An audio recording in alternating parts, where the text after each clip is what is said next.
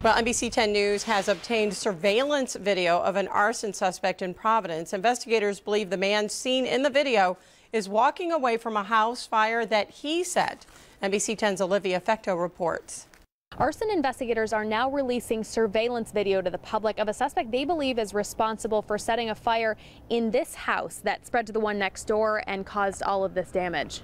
The flames poured from windows as more than 50 firefighters fought the fire on Dexter Street, and investigators now say they think this was an arson and they have an idea who's responsible. It was a uh, suspect walking by on a sidewalk away from the fire, so it's taken after the fire was uh, ignited. Providence Fire Department arson investigator Paul Dowdy says they've gotten surveillance video from businesses and homes nearby.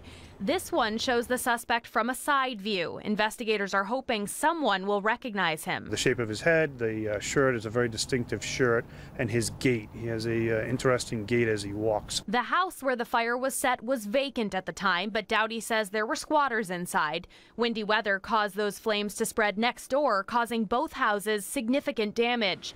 They're now condemned. The landlord has time to get them fixed, or the city will tear them down. Dowdy says dealing with arsons can be costly for landlords and the neighborhood. Depending on the owner's circumstances, it might stay like this for years.